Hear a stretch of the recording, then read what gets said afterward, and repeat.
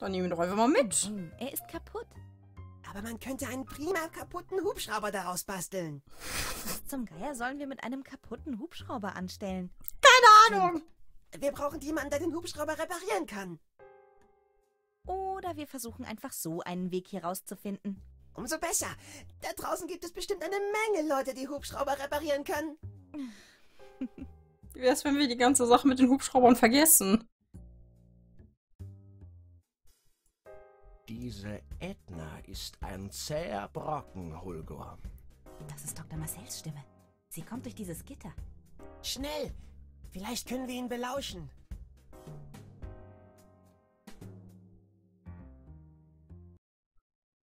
Was meinen Sie damit, Dr. Marcel? Ich bin mit meinem Latein am Ende. Zehn Jahre ist es her, und sie kann sich immer noch erinnern. Sie befürchten, dass sie herausfindet, was damals wirklich passiert ist? Ha! Niemand wird dir glauben. Wer glaubt schon einer Irren? Der Tochter eines verurteilten Mörders. Warum machen Sie sich dann Sorgen? Ich mache mir keine Sorgen. Ich hasse nur ihren Widerstand. Oh je. Ich kann nicht glauben, was ich da höre. Mein Vater ein Mörder? Offensichtlich ist er etwas faul. Ja, dieser Dr. Marcel vertuscht etwas. Sobald wir hier heraus sind, müssen wir den Namen meines Vaters reinwaschen. Also so wie das äh, geklungen hat, hat es echt faul geklungen. ja. Wer würde schon einer Irren glauben? Selbst das, das hört sich schon verdächtig an. Ansehen. Ne, dann gehen wir einfach rein. Klettern wir durchs Rohr. Wo führt es uns hin? Ins Nirgendwo. Zu einem Gitter. Die Freiheit, von unbarmherzigen Lamellen eines weiteren Gitters zerschnitten. Ja, ein Gitter. Zu. War ja klar. Ja, wäre auch zu einfach gewesen, wenn es offen wäre. Hilfe! Wo sind all die Helfer und Helfershelfer? Helfers Die aufdringlich polierter Rüstung. Wo sind all die lästigen Gutmenschen, wenn man sie braucht? Oh, lästige Gutmenschen. Wirf einfach Harvey dagegen. Vielleicht kannst du dieses Gitter durchnagen. Leider nein. Meine Zähne sind aus Frottee. Frotte. Haben wir es nicht schon mal? Freiheit. Freiheit! Oder auch nicht, nein. Wir können es ja wieder mit den Fußnägeln versuchen. ja, als ob das funktioniert. Oder seht ihr irgendwelche Schrauben? Ja, das wäre eine gute Idee. Leider sind die Schrauben außen und ich komme nicht dran. Ja, aber warum sollten wir von außen das Ding aufmachen? Um auszubrechen. Wenn wir doch sowieso dann schon draußen sind. Versteht ihr, was ich meine?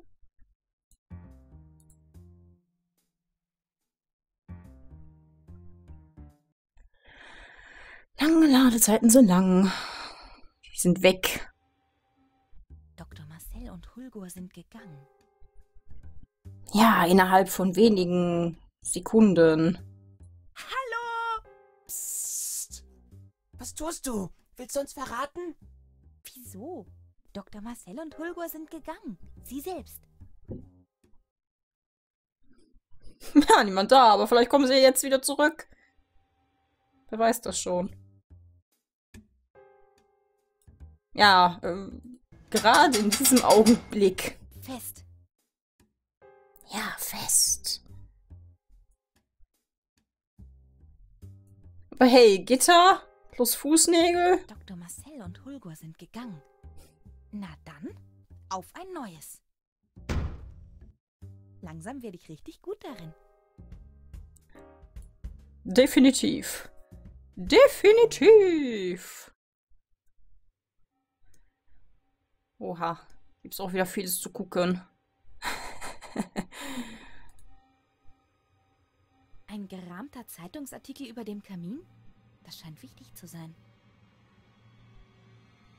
Dann guck ihn dir an. Was ist denn das? Das ist doch mein Vater auf dem Foto. In diesem Artikel steht, dass mein Vater ein Mörder ist. Das ist eine ungeheuerliche Lüge. Mörder. Mörder gefasst. In den frühen Morgenstunden stellte sich der 41-jährige Martis Konrad den Behörden, obwohl er sein Vergehen, dem Mord an einem achtjährigen Kind, dessen Name zum Schutz der Familie nicht genannt werden soll, bereitwillig gestanden hat, erwartet ihm wahrscheinlich die Höchststrafe, in diesem Fall der Tod. Ein Motiv wollte der Täter nicht angeben. Der alleinziehende Vater hinterlässt eine Tochter Edna, die in der Obhut von Dr. Horatio Marcel, dem Leiter der hiesigen psychiatrischen Heilanstalt, überantwortet wird. Nicht Raucher in Streichelzoo vermisst. Kannst du es mitnehmen? Nö. Können eh nur hier raus. Dann geh wieder raus. Raus. Raus. Raus. Dieses infame Lügengewirr kommt nicht in mein Inventar. Lügengewirr. Ja, sowas wollen wir gar nicht bei uns haben. Mit Lügnern rede ich nicht. Das klingt fies. Ist es auch. Es zeigt einen Jungen, der lächelt. Ich kenne ihn nicht, aber er beginnt mich zu nerven. Oha. Und das will schon was heißen. Ich möchte das Foto nicht mitschleppen. Lass mich rein, du willst auch nicht mit dem Foto reden? Du bist ziemlich hässlich mit deinem Gegrinse. Na und? Ich habe Bonbons bekommen. Und ein Fahrrad. Und einen Drachen. Und einen echten Piratenhut. Ach, sei doch still. Sagst du eigentlich zu allen drei Fotos das gleiche? Ein lernender Junge und bin das etwa ich? Komisch, ich bin nur zur Hälfte drauf. Sie wurde rausgeschnitten. Zur Hälfte wenigstens. Ich will kein Foto mitnehmen, auf dem ich unglücklich aussehe. Oh. Hallo, junge Edna auf dem Bild.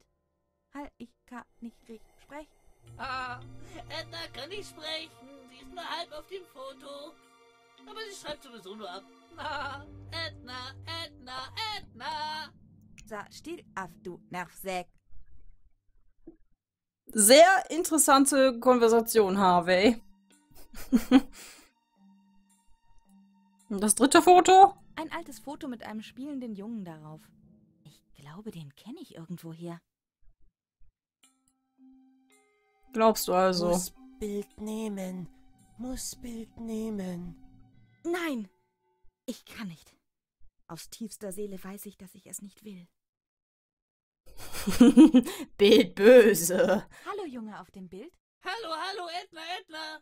Sieh mal, ich spiele, ich spiele.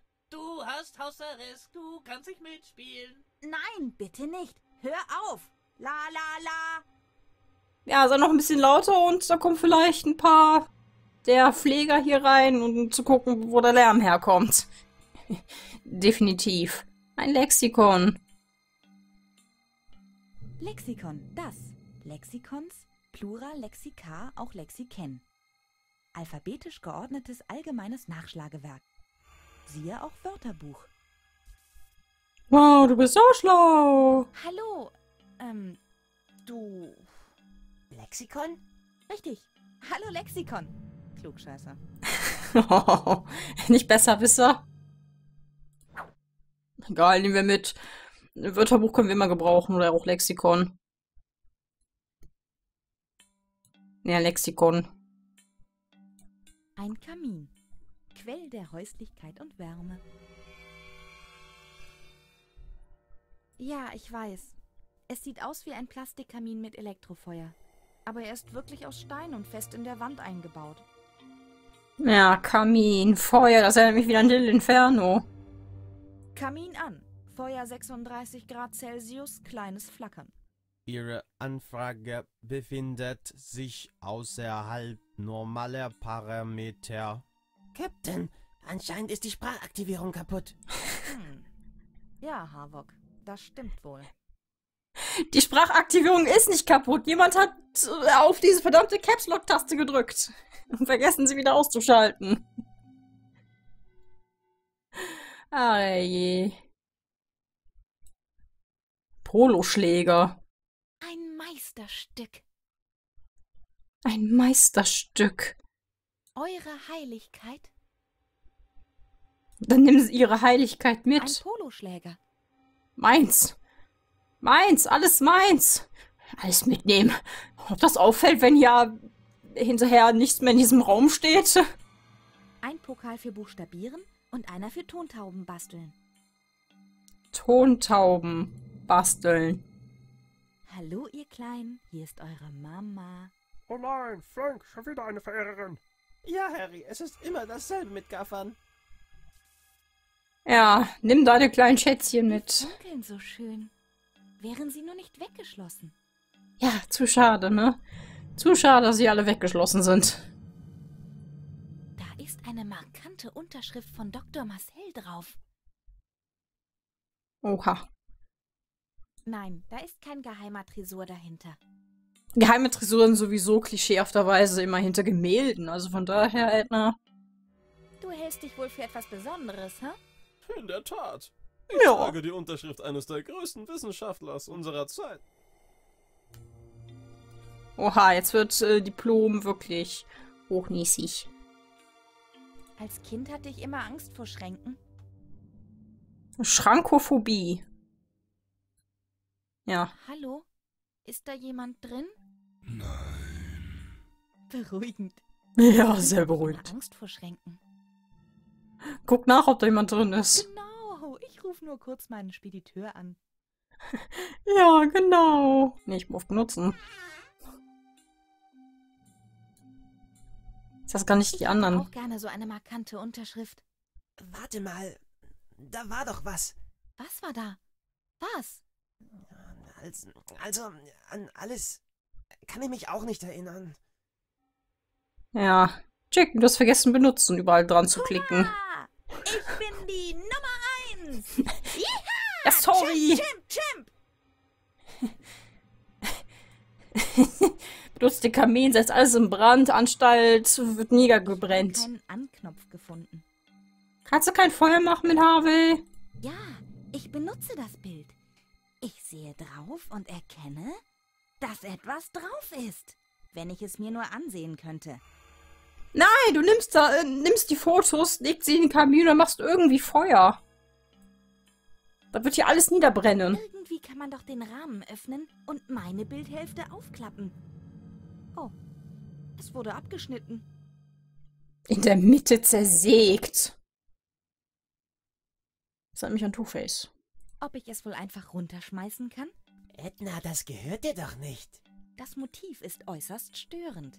So ein Mist. Das ist festgeklebt. ja, für den Fall der Fälle, ne? Haben sie es einfach festgeklebt. Nee, nee, nee. Ah, Schublade. Schublade, da war sie gerade. Da. Eine finnische Hartholzschublade mit Blattgoldintarsien. Wo siehst du denn sowas? Das ist nur schnöde Buche. Psst. Gerade war der Spieler beeindruckt. Ja, ich muss echt sagen, für eine Sekunde war ich beeindruckt, aber nur weil ich mich gefragt habe, woher weißt du das? Dass es die und die Holzart ist. Edna, du bist unbelievable. aber schön, dass Edna gerade die vierte Wand gebrochen hat, kurz. Sesam, öffne dich. Hm.